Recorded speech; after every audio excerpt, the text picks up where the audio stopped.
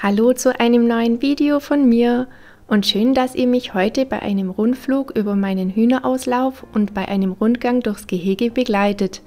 Ich werde euch den Hühnerauslauf sowohl im Winter als auch im Sommer zeigen.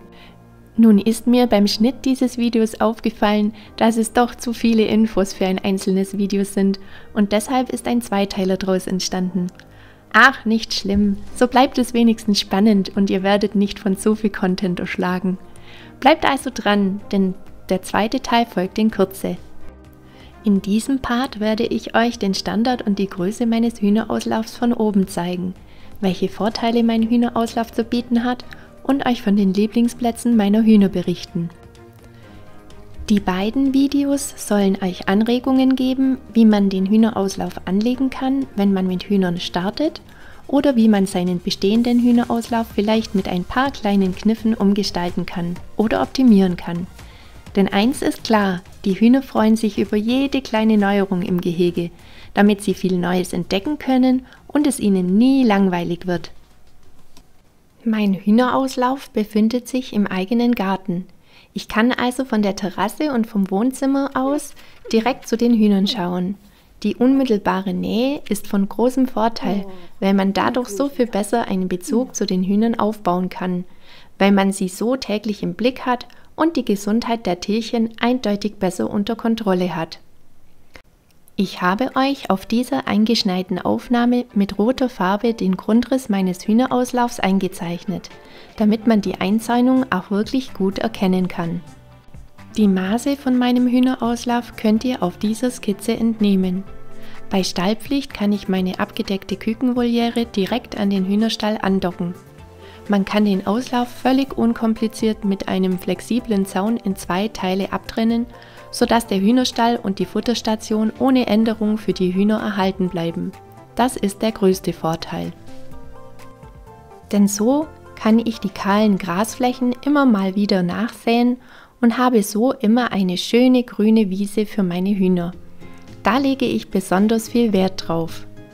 Für die Nachsaat kahler Stellen im Hühnerauslauf verwende ich Kleintierwiese mit Klee.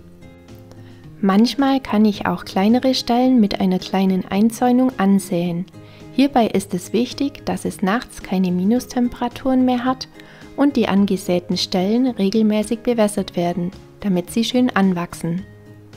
Zur Erweiterung des Hühnerauslaufs im Sommer verwende ich als flexiblen Zaun ein Volierennetz mit einer kleinen Maschenweite von 3 x 3 cm. Als Pfosten verwende ich Garten- bzw. Rangstäbe aus Metall, an denen ich den Zaun mit Pflanzklammern oder Wäscheklammern befestige. Eine Vergrößerung des Hühnerauslaufs benötige ich hauptsächlich im Sommer, wenn ich Küken habe damit bei der Zusammenführung mit den großen Hühnern sich alle besser aus dem Weg gehen können und es zu keinen Konflikten kommt.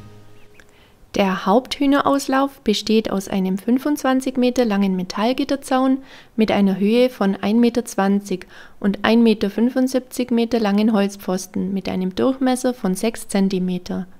An der Haupteingangstür habe ich zwei 8 cm starke Holzpfosten wegen der Stabilität verwendet.